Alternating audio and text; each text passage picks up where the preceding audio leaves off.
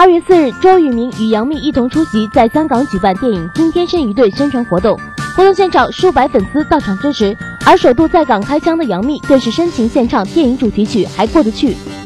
首次合作的周渝民与杨幂都对对方有相当高的评价。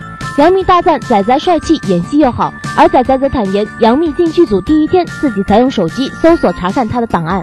不过还是很开心，两人能一起合作，也希望以后能有更多的合作机会。第一次跟仔仔合作，那以前就看过他的很多作品，那这次知道可以跟他演一对，当然是很开心的事情。大帅哥，然后戏又好，那。果然合作的很开心。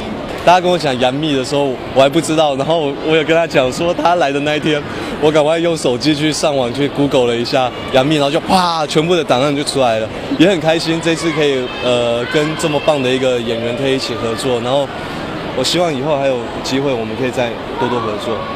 另外，此次是杨幂公开与刘恺威的恋情后首次来港出席活动，活动中难免会被问到关于恋情的问题。